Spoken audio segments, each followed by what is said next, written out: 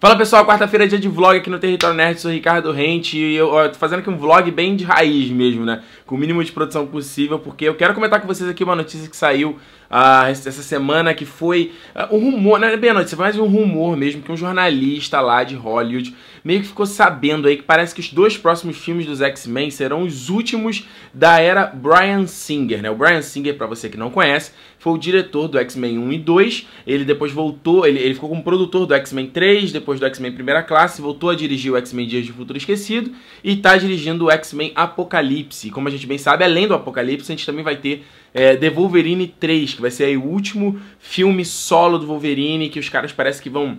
é tentar pegar a história lá do velho Logan, que é o Wolverine mais velho, vivendo um mundo pós-apocalíptico. E o Hugh Jackman já tinha dado uma notícia aí de que, ah, talvez essa vai ser minha última encarnação do, do herói e tal, não sei o quê. E eu acho que esse rumor, é, eu achei interessante essa proposta de que, de que o Apocalipse e esse Wolverine 3 seriam o fim dessa era Brian Singer, dessa, dessa interpretação do Brian Singer para os X-Men, porque se a gente for lembrar, os X o primeiro filme dos X-Men que foi no começo dos anos 2000, quando ele lançou ele, o filme, filme lá, né, ele teve que. Não existia um mercado de super-heróis ainda. Então,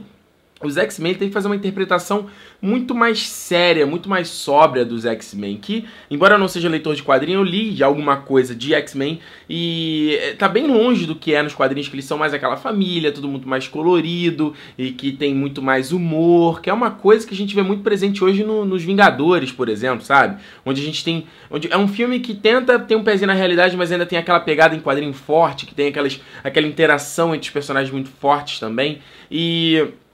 acaba que uh, o, o filme dos X-Men ali não, ele ficou um, tom muito mais sério e o que faz sentido na época, como eu falei, não tinha mercado de quadrinhos, então ele fez o melhor que pôde ser feito e é por isso que a gente tem os Marvel Studios e um monte de filmes bacanas, né? Só que realmente, eu, eu não sou, eu sempre não gosto muito de quando vai falar de remake, de reboot, essas coisas, mas eu acho que os X-Men mereceriam um reboot, sim, de fazer uma nova interpretação desses personagens, de tentar fazer uma nova abordagem, de chamar um outro diretor, um outro artista para tentar dar o olhar dele para o, os X-Men, para dar o olhar deles é, para a história dos mutantes. Então, eu acho, eu acho muito boa essa notícia, eu acho,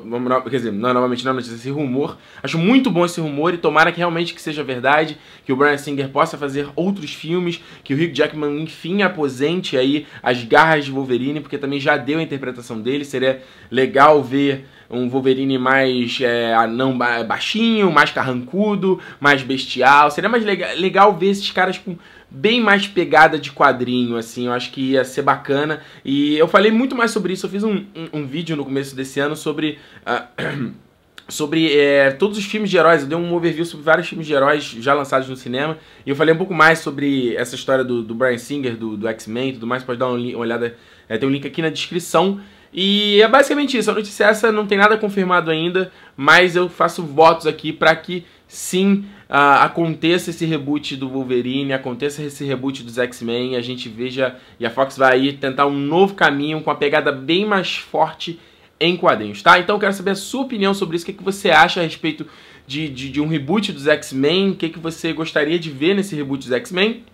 E se você não está inscrito, se inscreva aqui no canal para não perder uma próxima atualização. É, aqui no link da, do, desse vídeo também tem o, o link para o meu review do Vingadores 2, a Era de Ultron. Se você ainda não assistiu, não tem spoilers, pode assistir tranquilo o, o, vídeo, caso você não tenha visto o filme ainda. O link tá aqui na descrição. E se você tá vendo esse vídeo na data de lançamento, na próxima sexta-feira nós teremos um podcast especial falando mais também sobre Vingadores 2, a Era de Ultron, dessa vez com spoilers, onde nós vamos aí debater todos os detalhes do filme, o que a gente gostou, o que a gente não gostou, e se o filme decepcionou ou não, né? Tá bem dividindo opiniões. Então, é isso. A gente se vê na quarta-feira que vem em mais um vlog aqui do Território Nerd. Chao.